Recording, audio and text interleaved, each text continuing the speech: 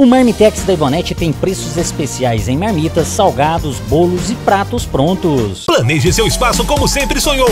Venha dar forma aos seus sonhos em Florindo Móveis. Parcelamos em até 48 vezes. Homem embriagado bate o carro de frente com o caminhão. No final da noite deste domingo, 10 de fevereiro, aconteceu o acidente na MG 449, nas proximidades da cidade de Arceburgo. Segundo o condutor do caminhão Mercedes-Benz 2426 de São Sebastião do Paraíso, ele seguia de Arceburgo para Mococa quando percebeu a aproximação do condutor do veículo Ford K, placas de Guaxupé, que vinha no sentido contrário, circulando na pista de um lado para o outro, quando tentou parar o caminhão, mas o carro invadiu a contramão de direção e bateu de frente com o seu veículo. Dentro do carro havia o condutor de 34 anos e uma criança de 10 anos, ambos da cidade de Guaranésia, que foram levados pela ambulância para o hospital de Arceburgo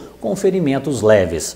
Segundo o condutor do carro, ele teria consumido bebida alcoólica à tarde e não sabe, não soube informar como ocorreu o acidente, pois acha que deve ter cochilado no volante. A polícia militar esteve no acidente até a chegada da polícia militar rodoviária que registrou os fatos e realizou o teste do bafômetro no motorista do carro, sendo constatado que o mesmo havia mesmo consumido bebida alcoólica não sendo preso por estar em atendimento no hospital. O Ford K foi removido para o pátio credenciado e os documentos do carro e a carteira de habilitação do condutor foram apreendidas. Quer saber tudo o que acontece na região? Procure nas redes sociais MacGyver TV.